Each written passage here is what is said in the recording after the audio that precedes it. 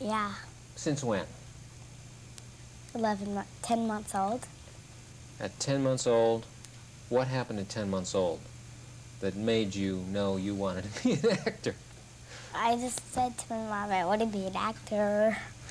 And she said, no, no, honey, that's fine. That's okay. You know, it's really hard work. So you could just go on back into your bed and take a nappy.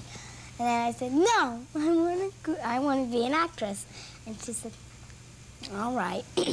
so she took me to an agent about when I was 11 months old.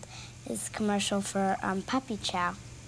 Of all of E.T.'s kids, Drew has met with the most success since the movie. She's the Toughest part in this movie for you? You had some pretty tough scenes.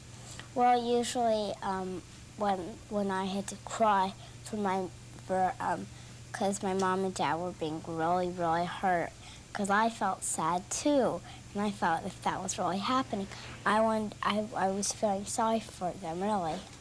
Do you have a trick for making yourself cry, or was it so dramatic that you really felt that you could cry? I was thinking that if that really happened I, I I'm starting to cry.